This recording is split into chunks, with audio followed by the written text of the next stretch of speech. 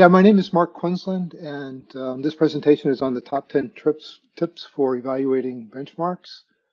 And I'm a senior field engineer with NEO in the San Francisco Bay Area, and I really I have the best job in the world. I absolutely love this job. It's um, the best parts of my job are are working with talented engineers on challenging problems at really cool companies all over the world. But this is a lightning talk, so let's get started. Okay, tip number 10. To paraphrase Mark Twain, there are lies, there are damn lies, and there are benchmarks. And I'm going to turn off my camera because I'm being informed that I have limited bandwidth, so my apologies.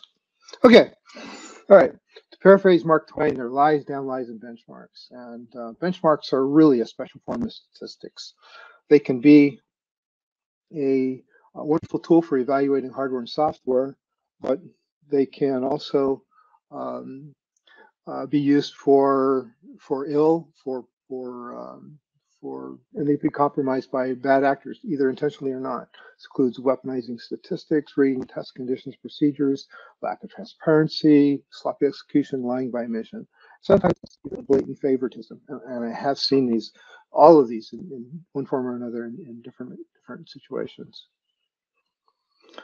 Okay, number nine. When you're evaluating benchmarks and results, and you see a flawed study, be kind. You know, don't don't assume that they're evil, that there's evil intent. So this is Robert Hanlon's uh, uh, razor. He says, never attribute to malice that which can be adequately explained by stupidity.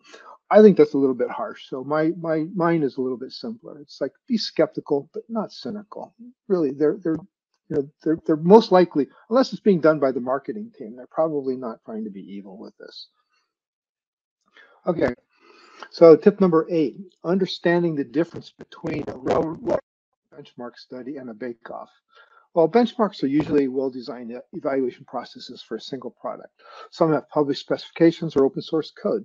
The best have a wide variety of tests that can be evalu can use, be used to evaluate both simple operations and complex realistic workloads. Well-documented procedures should lead to auditable, repeatable results. Bake-offs, on the other hand, are commonly used to compare two or more technologies for use in a given environment. They're usually less formal because they're tailored to a specific project or an environment. They can be much less rigorous. And sometimes uh, we've seen it where bake-offs are run with the um, Mark, sorry to interrupt you. Yeah, people are asking us to put on a slideshow view, please. Can you please do so? So they can see it better. Mark, can you hear us? Yes, I can. Um, yeah, thank you. I'm sorry. Let's go. Let's continue. No worries. Okay, so um, when you see a competitive benchmark, um, these are a special situation. They're uh, and you have to take extreme care when you're when you're looking at them because you, you can really introduce bias. Ideally, you're running these on an identical infrastructure with uh, similar data and procedures. The biggest thing is you want to make sure you're using the best and latest versions that are available. You're not trying to use a community edition uh, for testing.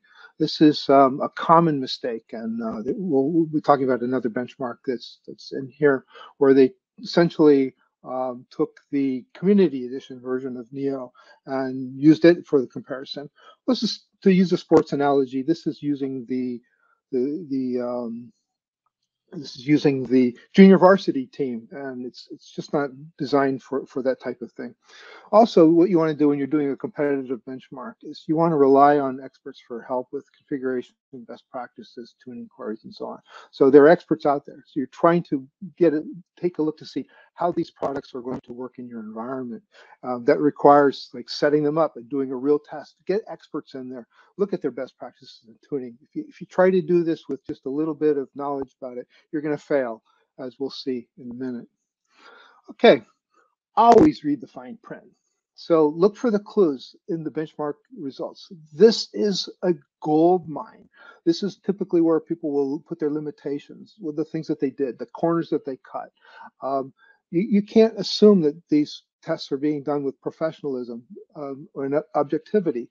This is really where they where they describe, hey, this is what we did, and this is how we did this, and this is how we did this, and you take a look to see, does that really apply to me? Is that useful? Is that bogus? So so um, am I using uh, published data sets or these kind of uh, uh, set up in a, in a certain way that would favor one situation versus another? So always read the fine print. It's amazing what you can find in there as far as um, how to how much to trust the results, whether you should trust the results at all. Okay, tip number five.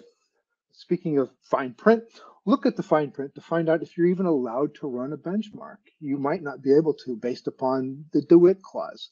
So if you're not familiar with it, the DeWitt clause was the result of a benchmark that was being done against Oracle. And Larry Ellison saw this and he got furious about it and said, "Hey, you can't use our our our software in um, uh, in benchmarks anymore." So they created the very first uh, restriction against benchmarking that I know of. But it's it's not unusual now uh, to to do this, and it, it's ironic because Oracle has this DeWitt clause, but they also are they don't shy away from using benchmarks, as we'll, we'll see in a minute. Okay, number four, tip number four. Uh, is the data model optimized? Well, this is really critical. So if you're if you're familiar with Neo and you are familiar with graphs, you know that graph data modeling is is uh, it's, it's an art and a science. It takes a lot more skill than to just do a uh, relational database approach data modeling job, uh, where you have second normal form, third normal form, and so on. So with Neo, the graph data model can really influence how your how your um, graph works. So I teach graph data modeling a lot for NEO. It's one of my favorite classes to teach. And typically we'll we'll talk about options. You could do this and do this, and you understand the difference between the words can and should. Um, and you want to test these things out at scale. So you something that might work at happy path with low volumes is is possibly not going to work when you have larger volumes. The beauty of a benchmark is you get to look at it and the people, it's open source, that are out there, it's published, you, you know what's going on. But um, sometimes the, the data models are not optimized. And so if unless you take care to optimize them and during the actual testing, you're going to get creamed by, by poor results. So in this particular example, this image is from the LDBC data, uh, data standards and they are um, it was almost great. I mean, they're really it was it was almost good, but the choice of of putting the attributes uh, for the country um, as as attached nodes that's fine for small volumes. But when you start looking at billions of nodes um, and billions of relationships, this optimized you can you can see how how poorly optimized this model is. So I would give this model um, a, a, not a passing grade based upon that. Again, it, it's fine at, at small volumes, but not really at scale. Okay, tip number three. Um, I love this cartoon, um. Um, but this is this is what I think of when people start saying, "Hey, we tested for this. We tested for this." What are you testing for? How well do these evaluation metrics meet your KPIs. Um, are they applicable at all? And we, we just finished a bake off with a with a large company. They did a great study. They're using LDBC and all of this stuff, none of which matched their KPIs. But they were like, okay, no, this is good. We want to see how, how this performs. But it really was kind of a pointless exercise because it didn't really meet what they're trying to do. So look at the fine print again. How's the performance being measured? Can the results be gamed? Not that people would do that, but you know, engineers are pretty clever. There are there are some benchmarks like LDBC that allow you to do something like um, uh, a um, materialized view, where you might take a shortcut and save off the results and pre pre-calculate things. And so this is this is possible to do. So take a look to see can they game it, um, or can you trust the results, and hopefully the things that you're looking for, the the KPIs that you're interested in are being evaluated with metrics that are applicable, that are tested, that are that and you have open source. You can look to see what are they testing, why, um, and hopefully it's driving the right behavior from the engineers to create better products, not just try to gaming game the, uh, the benchmark. Okay, tip number two. academic studies. So they're not immune, and I I wish I could say that they were, but uh, I I love um, uh, some of the academic studies that I've seen, and I hold them to a higher regard than I do for um, uh, than something like produced by the marketing department. But um, this one is from a, a paper that was uh, released by uh, a university here in California, and it was just sloppy. Um, that's I'd like to say that it was it was um, better done, but you can see the the blue boxes here. This these are cut and paste errors. They're, they're I'm going to give them the benefit of the doubt. They're, these are cut and paste errors. But the, what the so the result is is that for some of these very simple queries, the numbers are absurd. And nobody checked to see if the numbers were absurd. But unfortunately, these results have been taken and cited by lots of people and used to justify uh, just unbelievably ridiculous claims. So, so it's it's a pretty bad, pretty sloppy uh, presentation of the results. But the test setup was really bad. So this is where they they use the community version of, of Neo. Well, if you're not familiar with it, the community version has a single threaded processor for handling queries, where enterprise version has has um, uh, very performant um, multi uh, uh, parallel processing for this. And So it's just designed for different kinds of tests. So that alone invalidates this test. I mean, it's, it's again, you're comparing the the junior varsity team to to a varsity team. And that's really it's, it's just ridiculous um, assumption, but also the queries themselves. So they were right using uh, queries that they wrote, and they're they're okay. Uh, they test out okay at small volumes, but again, they fail at large volumes and they fail at large scale.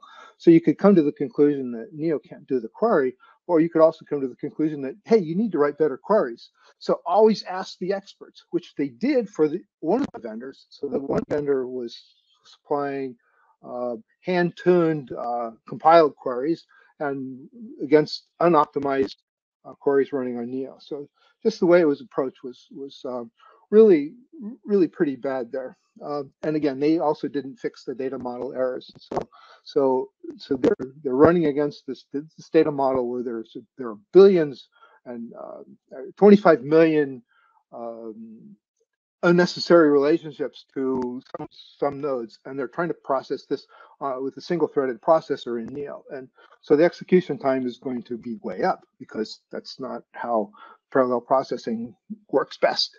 Um, so anyway, they use suboptimal queries uh, we, we they, they could have come to us and say, hey, this is what we do. We would have optimized them. We could have compiled them, done store procedures. Then there'd be an apples to apples comparison. So again, poor comparisons, uh, wrong version of, the software, cut and paste errors, and a, a, poor data model. So, okay, the only thing worse than use doing a paper like this is relying on it if you're a big company like Oracle. So tip number one. So rather than redoing these experiments themselves, they decided to just reuse the paper paper from UC Merced and with all of its errors and everything. So, so really, if, if you're trying to save time and money, this is clearly not the way to do it. So, because what you're doing is you're risking being branded with the same level of incompetence. Um, and, um, you know, that it's, it's ironic because the restriction against Oracle for, for benchmarking, but uh, maybe they assumed that Neo had had the uh, same kind of restriction against doing that. But they should have done their own work. So basically, what they did was they put their own name on somebody else's incompetent paper. So um, with that, I'm going to realize that I have one minute to spare, and uh, we'll take questions. Let me look at the comments that are going in here, and see what we got.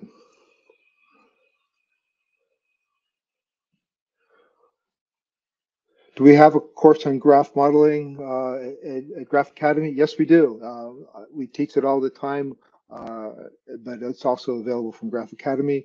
Um, supernodes are nodes within with a huge number of relationships. Um, huge is a is a um, uh, you know how big is how big is huge? It's like how big is a ball of string?